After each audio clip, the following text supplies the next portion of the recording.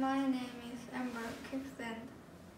Quicksand is not as dangerous as people think if you stay calm and don't struggle.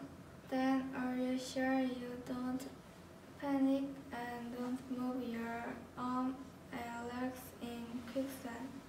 Personally, no, I'm not. I have two reasons for that. First, I would have horror that I might die. In that situation, I can't stay calm. It's because people are afraid of death.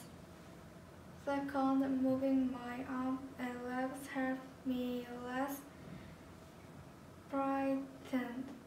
For example, I shake my legs when I am